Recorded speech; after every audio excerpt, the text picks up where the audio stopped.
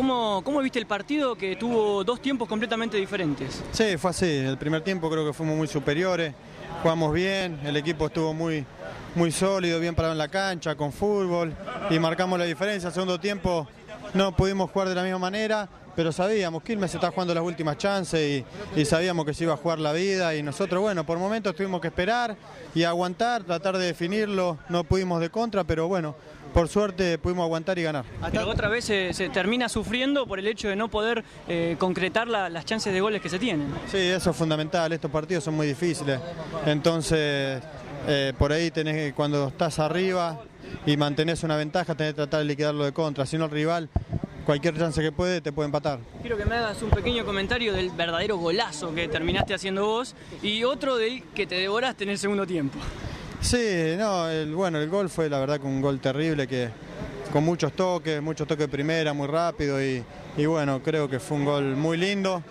Eh, que, estamos contentos porque la verdad que juntarse y tocar así de primera y que termine en gol es muy lindo. Y no, y el, segundo tiempo, el de la jugada de la Mela, que desborda, cuando la voy a empujar justo me saca una pierna de atrás y, y me la saca pero yo la tenía ahí de nuevo para empujar sobre la raya y uno de ellos se, se, tira y es más, le pego la patada a él y que quedó un poco tirado, pero, pero bueno, ¿qué va a ser? Eh, son cosas que pasan. Sinceramente no lo vi, la repetición por tele, pero algunos dicen que fue Orsay.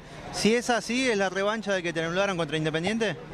Sí, ojalá que no haya sido Orsay, pero según lo que me dicen estaba ahí en la línea, eh, pero, pero bueno, eh, el, el, Independiente ya quedó atrás, es una lástima, pero, pero hoy pude convertir y fue gol, así que bueno, contento. Hasta hace un ratito estaban punteros, ahora ya está ganando estudiantes. ¿Van en el micro escuchando el partido o relajado y a disfrutar de la victoria?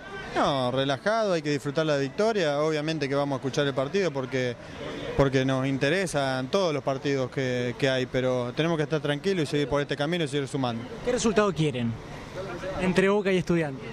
No, ninguno. Que, que, jueguen ellos, que salgan el que quieran. No, los estudiantes. Está bien. Bueno, solamente esta pregunta te quiero hacer. ¿Cuánto vale el triunfo para ustedes? Eh, ganando de visitante es importante. Sí, muy importante. Más con un rival directo que, que, que, bueno, que era muy difícil, que se estaba jugando las últimas chances para quedarse en primera, entonces por eso tiene mucho sabor esta victoria. Este, el, el, gol te contaba, la contaste mil veces, pero la jugada del gol. ¿Viste la jugada y dije, yo me la, la empujo? ¿Cómo, ¿Cómo fue? Sí, no, veníamos tocando ya.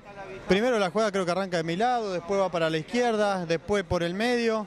Y, y bueno, no, cuando ya la estaba esperando, estaba esperando que, que, que dé el pase al medio para empujarla, pero bueno, definió muy bien él. Y yo venía en carrera y me quedó la pelota ahí y bueno, no tuve más que empujarla. ¿Te dijo algo el Coco? Según lo que me decía en el vestuario, sí, pero te digo la verdad, no lo vi todavía. ¿Te dijo algo el Coco? ¿Me lo sacaste o bueno, por lo menos lo aseguraste o algo así o no? No, no, nos reíamos, me pre... por ahí eh, la tocaste antes, después, no, le decía eh, obvio que por él la había, la había tocado antes, pero, pero no, eh, lo importante más allá de cualquier broma es es que le, el gol sirve para ganar, más allá de quien lo haga. ¿Y vos en algún momento pensaste, y mirá si estoy adelantado y la toco?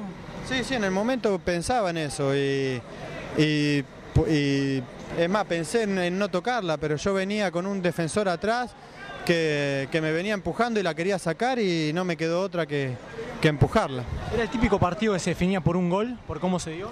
Sí, estos partidos son muy duros, son muy difíciles y generalmente se definen por pocos goles y son muy peleados como fue hoy. ¿Te sorprendió el planteo de Quilmes? No, no, sabíamos que Quilmes es un equipo que se está jugando las últimas chances y va a tratar de, iba a tratar de, de, ganar porque necesita sumar tres puntos imperiosamente. Entonces sabíamos que, que iba a ser un partido durísimo. De, antes de, de, que arranque el partido, en esos minutos previos, eh, ¿te hablaste algo con Paco? Que de hecho la gente de River lo ovacionó a Gerlo. Sí, con Paco hablo, hablo siempre. Es más, como en la semana, soy muy amigo de él, mi señor amigo es la señora de él, así que tenemos relaciones toda la semana, es una gran persona y es un jugador que cuando estuvo en River dejó la vida, dejó hasta lo que no tuvo, así que, es un amigo en el cual yo quiero mucho y me pone muy contento que la gente de River lo recuerde bien.